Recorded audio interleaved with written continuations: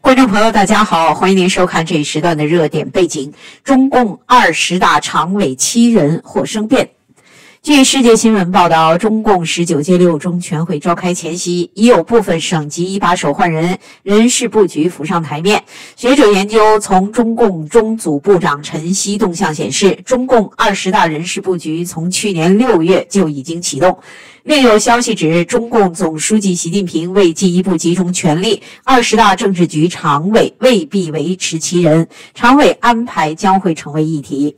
胡锦涛时代政治局常委九人曾被形容为九龙治水，各管一方。中共十八大后，习近平掌权，政治局常委改为七人，权势更集中。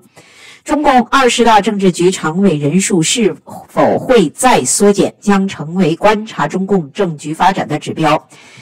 正大东亚所长王信贤称，考虑到人数越少越好控制，二十大政治局常委是否维持七人或有变数。虽然时间大概还有一年，但这会成为一个议题。有关二十大的人事布局，他研究近年习近平的地方考察发现，过去习近平赴地方一定带两个人，其中有中办主任丁薛祥和发改委主任何立峰，副总理刘鹤也常跟随，另有一位军委副主席，因为会考察地方部队。王信贤指，去年六月前，基本上陈希都不会跟着，但从去年六月到现在，习近平十多次的地方考察，陈希都跟随。可研判，从当时就开始安排党代会的人选，二十大人事布局早已启动。六中全会前，中共官方掀起铺天盖地的监管风暴，席卷金融科技、网络通讯、地产界、娱乐圈、补教业和电玩产业等。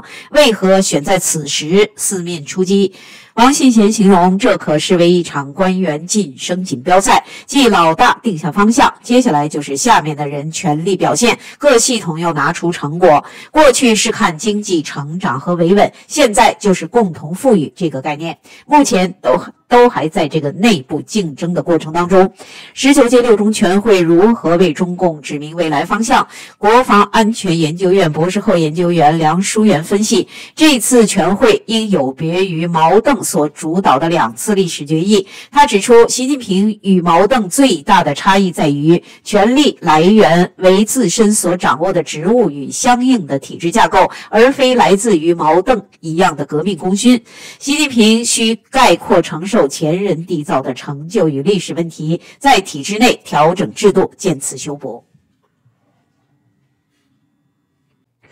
好，我们来看接下来的报道：习近平自我接班障碍未平，贪天下之功归属一人。据法广报道，中共十九届六中全会即将于八号登场。新华社六号发表题为《习近平带领百年大党奋进新征程》万字长文，隶属习近平执政九年功绩。称其为继往开来的领航人，为习近平二十大继续担任总书记造势，并借外国媒体和外国专家之口为习近平点赞。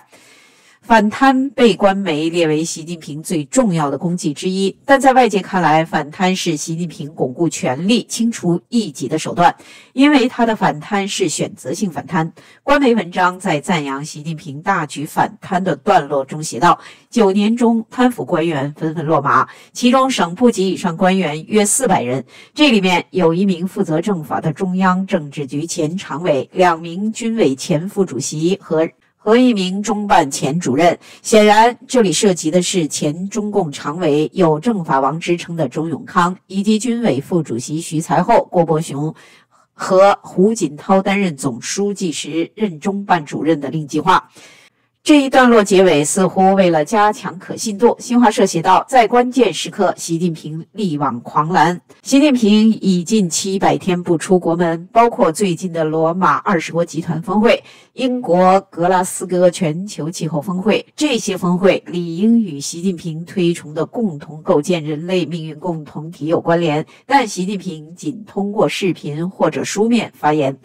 新华社引用习近平的话说：“世界那么大，问题那么多，国际社会期待听到中国声音，看到中国方案，中国不能缺席。”中国是大国，全球领袖需要和中国领导人当面交流。可是习近平屡屡缺席了。但新华社在“胸怀天下的大国领袖”一章解释，习近平九年出国访问四十一次，足迹到达六十九国。如果不是新冠疫情，他还会有更多访问。在观察人士看来，习近平执政以来最失败的就是让中国在国际舞台上日益孤立。习近平不出席国际会议，法国《世界报》认为是中国孤立的象征。但是新华社引用习近平的话说：“我们的朋友遍天下。”新华社英文版的相关文章引起此间舆论注意，其中一段赞扬习近平的话这样说：海内外舆论凭借习近平说他是一位信念坚定又行动果敢的人，思想深刻又情怀深厚的人，善于继承又勇于创新的人，能始终把握大局又敏于掌控变局的人，奋斗不止又强大自制力的人，谦逊平和又无所畏惧的人。法国政治学者邦达茨评论：“中国不存在任何个人崇拜。”这下让人放心了。法国媒体人昂杜瓦茨回应：“习近平是世界的太阳，是人类的救世主，竟然无人发觉，多么的忘恩负义！”官媒把所有的功勋都凝聚在一起，放在一个人身上，这是造神最重要的标志。即将举行的中共十九届六中全会要通过中共史上第三个历史性决议。官媒引述分析指，这意味着以毛泽东、邓小平、习近平三分断代的概念正在正式写入中共历史，被指是正式在中共官方历史决议中确立习近平时代的标志。法新社报道分析，习近平欲与毛泽东比肩。但是，西方专家普遍评估，毛泽东的政策造成了三千万至七千万中国人死于非命。新华社援引中共中央党校教授韩庆祥表示，实现中华民族伟大复兴有四个里程碑，第四个里程碑是二零一二年中共十八大以后，中国特色社会主义进入新时代。这位教授称，习思想他有效引领了实现中华民族伟大复兴的历史进程，他影响了整个世界。习近平被描述为是一位像父母那样爱老百姓的党的总书记，是一个坚定的马克思主义者。尽管一些知情人士称习近平并没有文化，经常读错字，但新华社的文章说，习近平当知青时，他在窑洞的煤灯下通读三遍《资本论》，写下十八本读书笔记。而且，习近平二零一二年当选总书记，仅两周便提出中国梦。在今年十月纪念辛亥革命一百一十周年大会上，他二十二十五次提到复兴。中国在习近平领导下进入小康社会也颇具争议。中国国务院总理李克强去年在全国人大讲过，中国还有六亿人月均收入不足人民币一千元。而且一些媒体披露，按照领导人的意志。按期脱贫也导致一些地方出现了一些弄虚作假、临时脱贫过后返贫的假象。新华社还列举习近平的其他功劳。比如，关于香港，他指挥捍卫“一国两制”事业，粉碎了反中乱港势力颜色革命的图谋。但海外舆论普遍认为，在习近平领导下，有“东方明珠”之称的香港已经变得不伦不类，“一国两制”成为虚设，民主人士惨遭大举镇压。无论官媒把习近平接班的进程描述的多么华丽，海外的观察家大多认为，本应明年任期届满的习近平将在明年二十大继续担任总书记。这无疑是对把取消国家领导人终生制作为最重要政治遗产的邓小平的背弃。因此，尽管习近平通过强力反腐清除异己，党内已很难听到公开反对的声音，但暗涌是存在的。六中全会通过为习近平定位的历史性决议，就是为习近平能得到一致拥护扫清最后一段落。官媒则引用习近平的话来表明他继续干下去的决心。中华民族伟大复兴曙光在前，前途光明。在这个关键当口，容不得任何停留、迟疑、观望，必须不忘初心，牢记使命，一鼓作气，继续奋斗。习近平还用另外一种方式表述过：这么大一个国家，责任非常重，工作非常艰巨，我将无我不负人民，大有当今之事舍我其谁的气势。距离中共二十大最后一段路还有不到一年时间，但一些分析人士指出，还会有险恶的内斗。加拿大维多利亚大学教授、曾经是中共前总书记赵紫阳智囊团成员的吴国光日前对美国之音表示，习近平的目标不在于第三个任期，因为相关游戏规则都已经铺平。习近平要的是如何实现对政治局常委的更高度掌控，障碍就在于习近平要的太多。但其他人也各有各的想要，这里面怎么样摆平？他表示，如果明年夏天有一名或更多政治局委员落马，他不会觉得奇怪，那就是习近平在敲山震虎。这似乎符合习近平所说的“挑战增多，不想斗争不切实际，好好先生并非真正好人”的逻辑。这似乎预示着中国官场或面临的险恶前景，可能会发生黑天鹅、灰犀牛一类不可测的严重事件。有意思的是，新华社的文章还特意提到两个词：习近平让黑天鹅和灰犀牛进入中共词典，防范化简。各领域重大风险成了新时代的一个特点和亮点。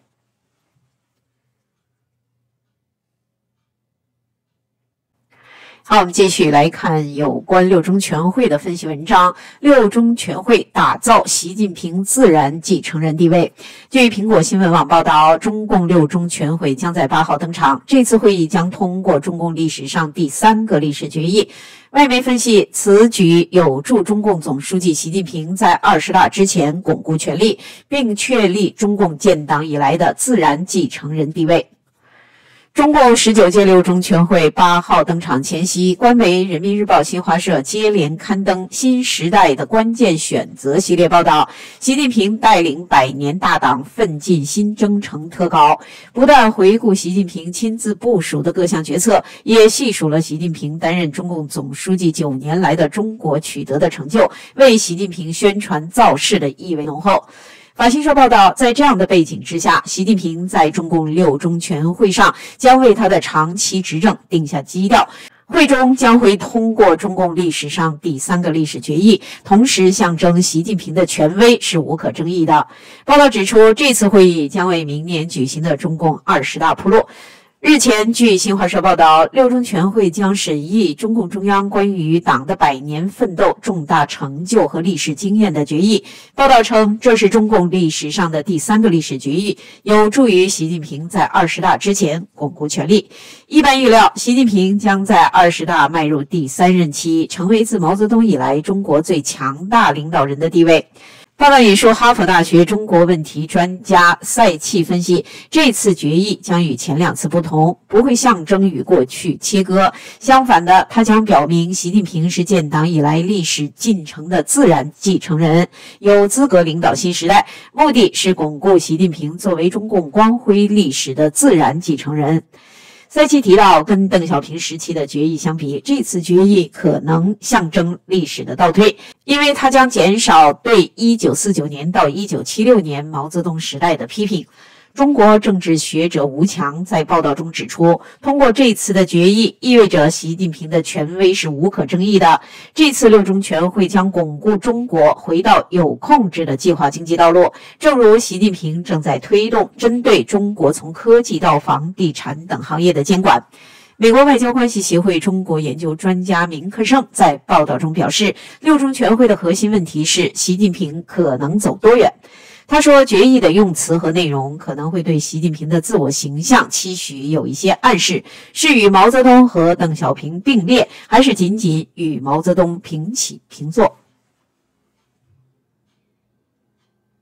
好，我们继续来看下面的报道。英国《卫报》惊爆：常春藤盟校学生捐卵，每次一万美元。据自由财经报道，英国《卫报》今天七号披露美国卵子捐赠行情，发现相关捐赠讯息分散在私人的 Facebook 群组、WhatsApp 聊天室和 Reddit 中。捐赠者以二十几岁居多，捐赠营养费从三千美元到两万美元不等，营养费多寡取决于人种、智商、就读学校等等。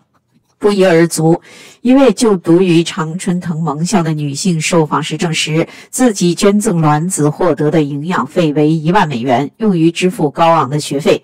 卫报调查了十几名不同年龄和背景女性的个人卵子捐赠经历，发现与接受试管婴儿或代孕的人的论坛不同，捐赠卵子的相关讯息并无明确的资讯平台提供捐赠者讯息交流或相互支持。相反，相关捐赠捐赠信息大部分分布在私人的 Facebook 群组、WhatsApp 聊天室和 Reddit。报道称，大多数人选在二十几岁捐赠，并且都获得相应的经济补偿，金额从三千美元到两万美元不等。捐赠的女性用这些钱来支付账单、学生贷款或度假。报道还指出，有些捐赠者透过在 Facebook 或 Instagram 上投放的广告，与获赠卵子的父母或机构进行匹配，而且这些卵子捐赠广告的措辞与希望出售自行车、公寓或汽车的人并无二致。报道举例，有广告写着“中国人、越南人、韩国人、亚洲卵子捐赠者赚了一万美元”，亦或“寻找高智商的卵子捐赠者，经济补偿金高达四万美元”等等。报道访问一位录取常春藤盟校。新闻系女学生捐卵子的经历，她收到十一点六万美元的学费单据时吓了一跳。虽然有奖学金支援，但生活费也是一笔开销，于是选择最快的方式取得现金。三月打电话给卵子捐赠。诊所踏进捐卵行列。他表示，在筛选电话中，诊所人员赞美和肯定我的身体、个性和常春藤盟校学生身份后，经过心理评估及健康检查，自己因捐卵获得了一万美元的营养费。好，我们继续来看下面的报道：中共用漫画为下一代洗脑。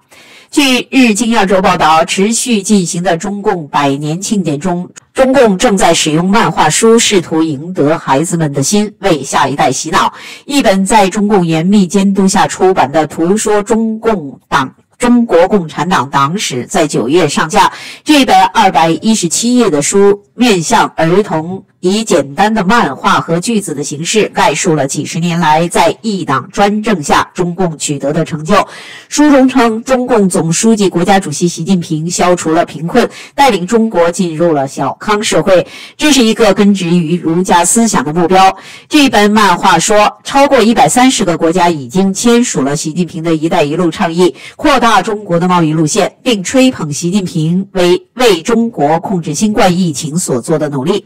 但但是书却刻意掩盖了中共自一九二一年七月成立以来所犯的错误，对一九八九年天安门的镇压保持沉默。由毛泽东在一九六六年发起的文化大革命，造成了一千多万人的死亡。但书中只是说，由于复杂的国际社会的和历史的原因，中国陷入了严重的政治和社会危机。相反，书中却大肆宣扬在那十年中取得的成就，比如中国的首。次氢弹实验和卫星发射，以及时任美国总统尼克松访问中国。鉴于中共广泛参与了该书的出版，该书被视为本月将在中共中央全体会议上通过的历史决议的先期宣传。